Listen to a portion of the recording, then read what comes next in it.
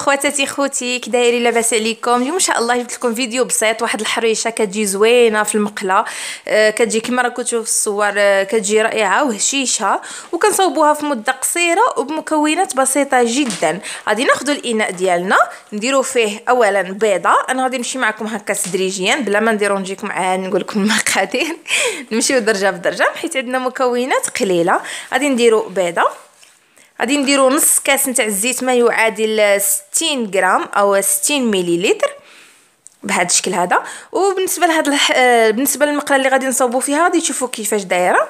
غادي نديرو زوج ديال المعالق كبار ديال السكر. ونديرو كذلك نصف كاس نتاع الحليب ما يعادل 50 غرام أو 50 مليلتر. وواحد الساشي نتاع الفانيلا. هاد الحرشة ما نديروش فيها الخميرة.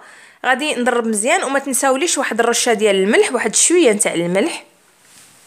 نضرب مزيان هاد المقادير وناخذ السميد. السميد المتوسط السميد ديال الحرشة يعني ما رقيق ما غليظ.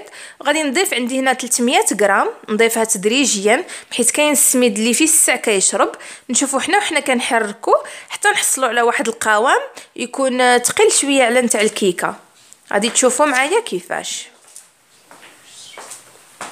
أنا عبرت لكم 300 غرام. صافي نحصل بغيته في هذا القوام هذا. يعني ما ثقيل ما خفيف بهذا الشكل. هذا المقدار أنا اللي درت غير نتاع المقلة الموسطة. يعني المقلة ماشي الرقيقة ماشي الكب... آه ماشي الصغيرة ماشي الكبيرة عفوا. بهذا الحجم تكون دهنتها بالزبدة وغادي نرش عليها السميد بحال اللي كنديرو في الكيكة. وغادي نخوي الخليط ديالي. ونديره على البوطة. ما نجهدوش النار النار تكون ناقصة شوية يعني مويان. نوزعه هكا ونخليه حتى يطيب من واحد الجهة. غير يطيب كيتجمع بهذا الشكل هذا. كما تشوفوا راني نحرك المقله بكل سهولة.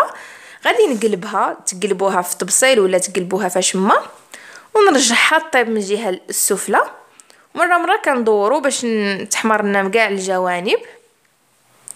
وكنتحكموا فيها بسهولة. شوفوا كيما تشوفوا معايا تقدروا تقلبوها بكل سهولة باش تشوفوا واش حمرت لكم من الأسفل بهذه الطريقة هذه صافي غادي نطفي عليها ونقدمها لكم.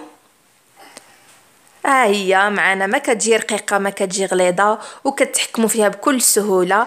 هشيشة ولذيذه كما شفتوا خواتاتي اقترحت عليكم هذا الاقتراح. ديروه في الكوتي الأطفال ديالكم. دهنوا معاه الفرماج اللي بغيتو وكيتوجد بسهولة. نتمنى ان الإعجاب ديالكم. غادي تشوفوا غادي نحلو وحدة من الداخل. غادي نحلو شي وحده من الداخل. بهذا الشكل هذا. وكندهن فيها الجبن لبنتي كنبغي ندي لها الفرماج فيها مع أتاي ديال العشية.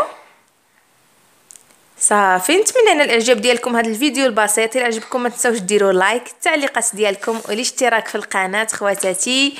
إلى اللقاء نتلاقاو فيديو جديد إن شاء الله مع شهيوه صفاء